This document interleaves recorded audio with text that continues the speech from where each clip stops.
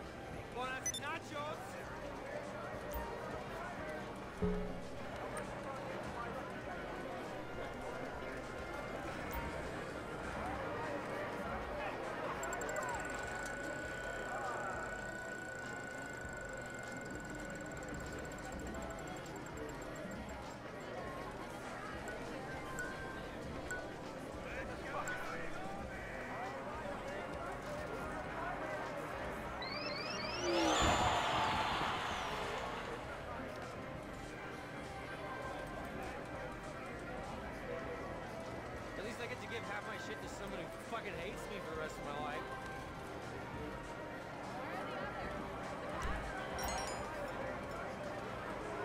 Congratulations to our player at the Lucky Wheel who just won a luxury car.